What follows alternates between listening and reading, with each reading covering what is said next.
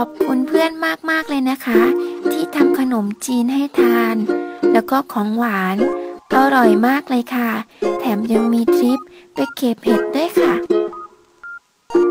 ว่างๆพาไปอีกนะ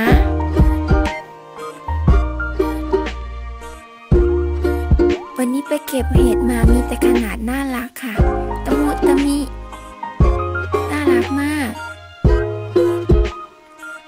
ไปเก็บวันนี้ก็แบ่งไปให้พี่สาวของแฟนค่ะ ทั้งสองคนเลยแล้วก็เอาไปฝากแม่ย่าด้วย